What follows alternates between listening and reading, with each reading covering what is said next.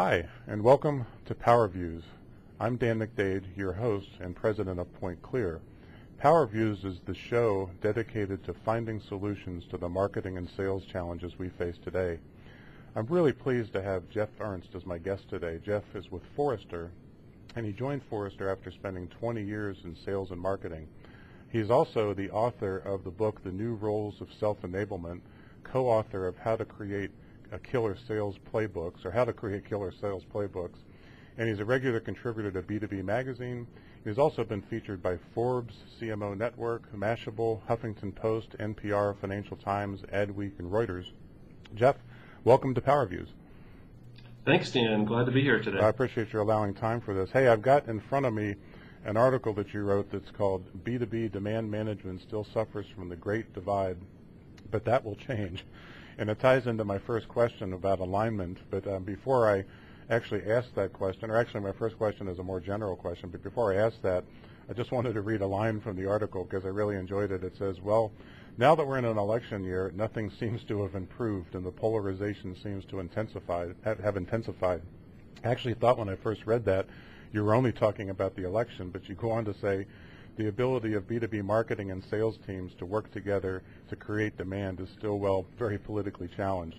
And um, I know based on your experience of working with CMOs and, and other leaders in, in, marketing and sales, I'm sure that you encounter a lot of different opinions about this. But I was wondering if we could start out with, you know, we know what didn't happen in 2011 from your article was that there was not, a, um, you know, an improvement in the alignment between marketing and sales. So um, what do you think is going to happen in 2012 in that regard?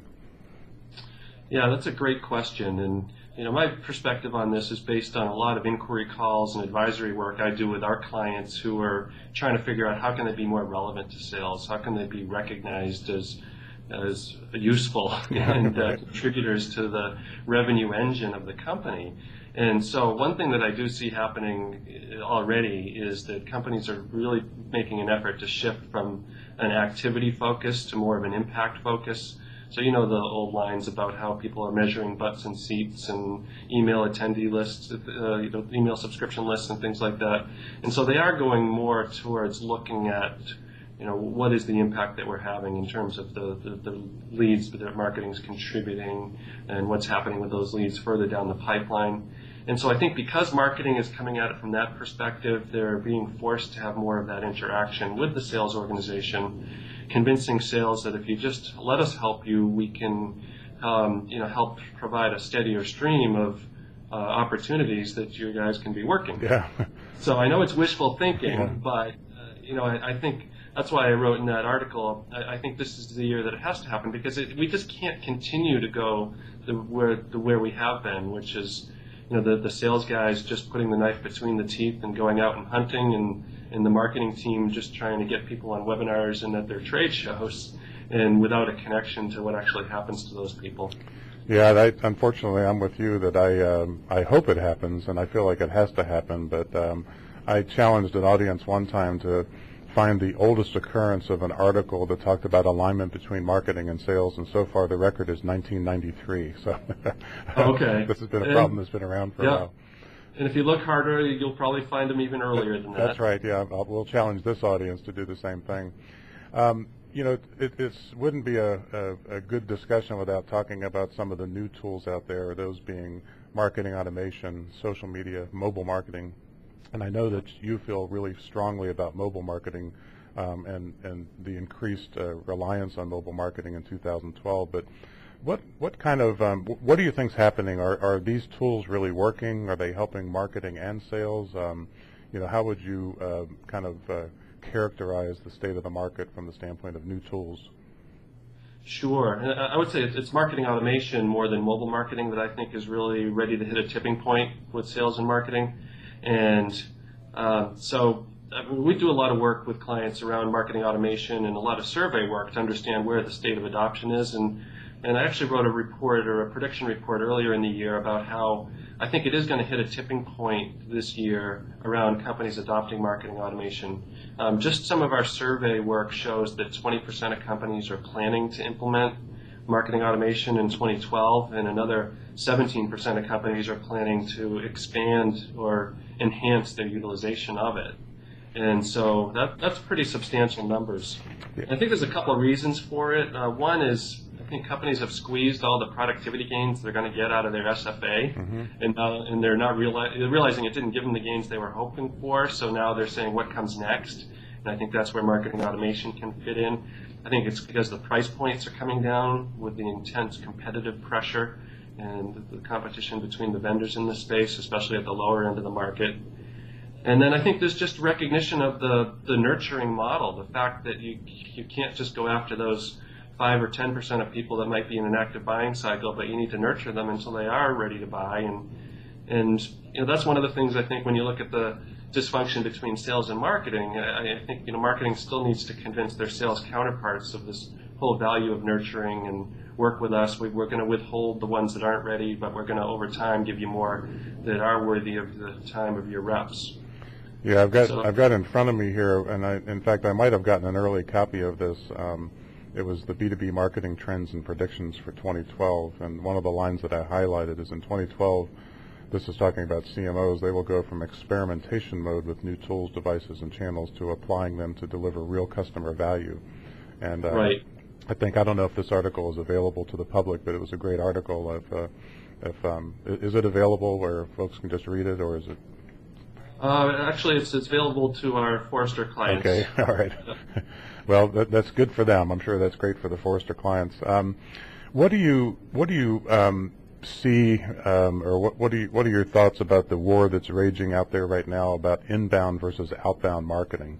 Um, you know, Yep. so many times you see articles about. Um, in fact, I think you even talked about you know relatively poor results um, from outbound marketing or outbound calling specifically, and um, uh, and and you hear companies say you know 70% of the buying process is complete before a sales rep even needs to get involved.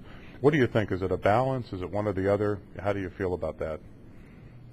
Well, I, I think it's a balance, and but it really depends on how you define those two terms. And so I do think that companies need to make a bigger shift to what I call inbound marketing, and which which I think you know some of the vendors are calling inbound marketing, but just you know putting more emphasis on getting your ideas out there into the marketplace and addressing the needs and questions that people have when they're in the very early stages of their problem solving cycles when they're first realizing they have a problem they're trying to understand it they're trying to decide whether to change the status quo in their organization and that's when they're out there they don't even have a solution in mind or who their providers might be, but they're out there searching for information. They're, our data shows they're on social networks looking for that information. They're talking to peers and, and just trying to figure out how to solve that problem. And I think that's where marketers have the biggest opportunity now because that 70% of the buying cycle that might happen before they're ready to talk to sales, that could go on for many months Right. or years. of, uh, and, and a lot of companies could be churned if they're uh, slow to make change or, or change the status quo. But um, so I, I definitely think companies need to do a lot better with that. With uh, and especially you know content marketing is also becoming huge. We're seeing a lot of people talking about that. A lot of companies are calling me now asking how do we do a better job with our content marketing and how do we scale our content production capabilities so that we can address those information needs that people have early in their buying cycle. What, So, and I do agree, you know, just to, to wrap up the point of the, the flip side of the outbound, I mean, I, I just, I'm not a believer, never have been in the interruption marketing tactics of just buying lists and cold calling or emailing into them. So, but I think, um, you know, the, that's why I think a lot of the needs to be shifted away from that to more of this inbound. I think the problem with outbound is there's been an awful lot of mediocrity in, you know, really what has been traditionally our space, because, you know, we're pretty much of a proactive outbound company. But it's, it's, it's warm outbound as opposed to cold Right. outbound. And I think that Yep. makes a big difference. Uh, The other thing I'd be interested in your comment on this, and um, it, we found this uh, with experiences with, with several of our clients, and that is that I have kind of this expression about marketing automation, and, and don't get me wrong, we're big marketing automation fans, but the expression is not every senior executive wants to be treated like the human equivalent of a pinball, only getting your attention when they've hit the right bumpers and scored enough points. And uh, what we find is that the more senior level executives are much less responsive, so they're not really giving up their digital body language as our more junior executives, and companies that are re- relying entirely on marketing automation to score and to drive opportunities are finding that they're driving kind of smaller deals with lower level decision makers. So our sense is that there needs to be a balance. Do you do you feel that that's a, a valid point or? Oh, absolutely, and I think you, the key point you said is that warm outbound. Uh, I think that's just what's so important. It's the pure cold calling and and uh, you know buying the lists, the, the anonymous lists uh, that I just think is kind of the, the, the part that is proving not to deliver the results that people are looking for. But I think if you can integrate, um, you know, if, if you look at the different stakeholders that are involved in a buying decision, you know, what you see is that uh, those those senior executives might be involved at the very beginning when they're kicking off a project, but then they're uh, asking people lower down in the organization to run with it, to do a lot of the research, and then they might come back in, the senior executives do, towards the end when it's time to, to narrow down the choices and make a decision and commit the budget. And so I, I think you know, a lot of what companies can do is, is uh, recognize that there are different influencers involved in a complex sale and make sure that they're addressing the needs with the content of those different people as they move through their particular journeys. Sure. And I think companies that do that well are then uh, associating that or combining that with the outbound such that once you've got an inkling or you've got some of the digital body language maybe from some of the more junior people that you know that there's activity in there. Now and you have got your sales organization aware of that and they're understanding what the potential needs might be.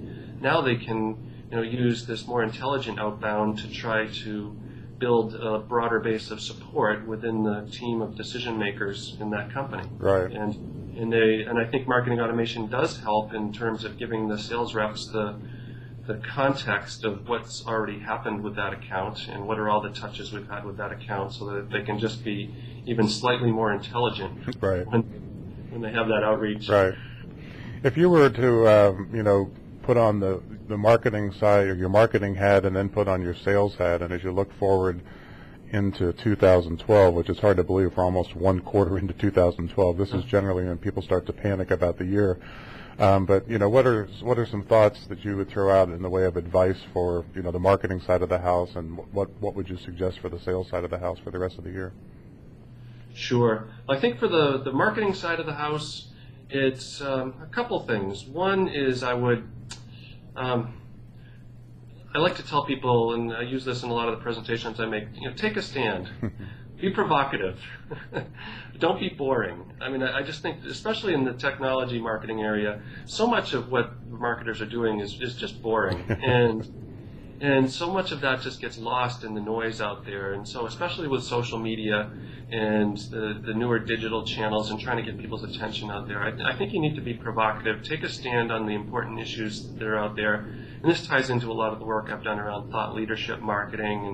And, and I think uh, you know, just about every company I, have been tried to, you know, every company I work with, uh, even when they first don't think that there's a role for being a thought leader in their market, once we really dig in and understand who has influence in their market and what their buyers are trying to do, we almost always find the, an opportunity to take much more of a, a, thought leadership position on the issues that are out there and, and be provocative as you do it. I think one of the other things that I would recommend to the marketers is that the you know, social media is still the bright shiny object that everybody's trying to figure out, and and you know, we talk about how it needs to go from cool to critical. And I think what I've seen is a lot of marketers they're focused more on the media than they are on the social. They're, they're treating it as another outbound uh, channel to push their same old company and product messages out as opposed to looking at it as the uh, from the social perspective, which is that the, it's a way to connect to the people and uh, that might care about you, and they're connected to the people and things that they care about. And so, you know, and I'm writing a report about this right now, but I think you know B2B marketers need to do a much better job of not just random acts of um, you know social media and social marketing, but think about it more systematically, such that the as you're getting these ideas out into the marketplace, make sure you're also injecting the calls to action that are going to draw people to, uh, you know, do things where they're going to identify themselves or come to your web properties when the time is right. And So, you know, I think by making it more systematic as opposed to random, you can actually connect, and the technology is there to allow you to measure this connection, but you can connect the activities that you're doing directly to your uh, you know, revenue stream, your revenue pipeline. I think sometimes uh, people almost view and it seems kind of strange, but they almost view social media as anonymous. And, and I want to give you an example. There's a, a friend of mine here in town that runs something called Intrepid Radio. It's actually a pretty cool thing that he does.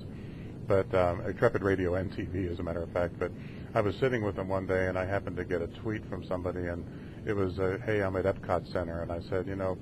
I don't know if I want to really read tweets about somebody being at Epcot Center or what the, what they had for breakfast or anything like that. And he said, you know, maybe you should think about this a little differently, Dan, because have you ever been to Epcot Center? And I said, well, hey, I was in Epcot Center just a couple weeks ago.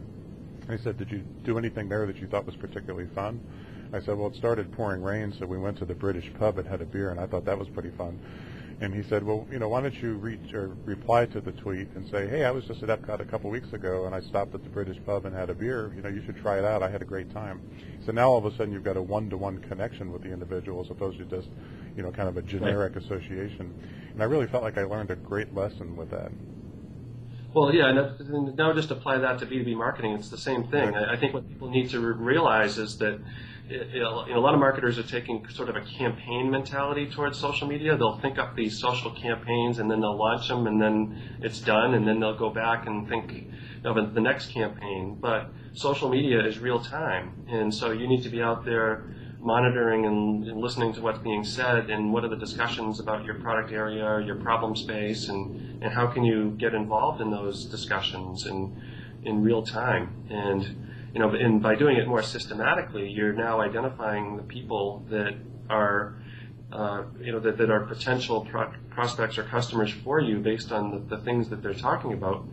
And, you know, it's really interesting when you try to look at what somebody might tweet and decompose and think about what you learn from that. You know, let's say somebody's saying, hey, does anybody have advice out there for how to scale a um, you know XYZ type network where we're running into problems with you know? Again I don't want to get too techy here but you know but now you can infer okay this person's having a problem around scalability. They they have a need right now. They're probably being asked by their CIO to solve this and and um, you know chances are there might be an, a possible sales opportunity there. If I happen to be a so, virtualization company, I might want to get in touch, right? yeah, yeah, and, and so I mean the, the you know depending on depending on how you know close that sounds to being sales ready. I mean, that might be one that gets routed right to uh, you know a sales contact to start to build a relationship with that person through social media, or the marketing people might want to just participate and share some information. Again, not about the product, but about the you know, perspectives on solving the problem at that first you know connection. And you know, as you get more and more people, you know, connecting with you and, and interested in your information, you know, they're now sharing it with the people that, that they, uh, you know, are connected to. So, you know, again, it, it sounds like all fun and happy to do, but it, you know, a lot of companies I think are just missing the boat because they're not looking at it systematically and you know trying to figure out or, or thinking about it as a social marketing engine that you know where they're monitoring what's going on, they're they're developing and expanding their connections and nurturing those relationships, and then also injecting in there the, the calls to action that are going to bring them into, um, you know, what, learning more about your company when the time is right. Right. Well, we've uh, we've covered a lot of ground in a short period of time. What's um, what what have we missed? What else would you like to share with the audience today? Ooh, great question. What have we missed? Um, well, uh, maybe the, the, second half of the, your previous question was what advice to the sales teams. Uh, right. Uh, maybe, maybe on that a little bit because that's always a good one. I think um, you know I, I think to the sales teams, you know the the marketers are all trying to be more relevant to sales. They're trying to hire more domain experts, experts in the customers and the markets they serve, so that they can you know try to get out in, in front of sales or at least in a partnership state with sales. So I just encourage the sales teams to to recognize you know they, they do want to help you, and you can't really do this alone. I mean, I mentioned in jest earlier about the sales teams that like to just put the knife between their teeth and go out and hunt. well, I love that.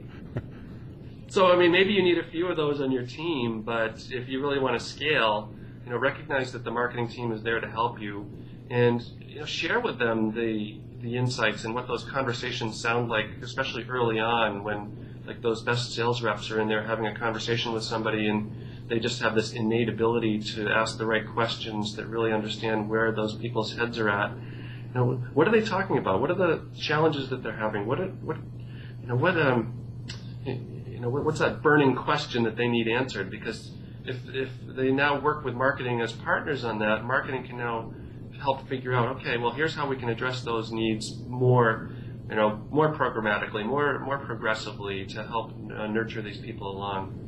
So I think there's a lot of benefit to the sales organizations if they just sort of open up their mind and, and not just look at the marketing team as the t-shirt and trade show people, but you know that they they are somebody that can really help you understand what these buyer journeys look like so that you can be more relevant and more compelling as is in the in the sales process.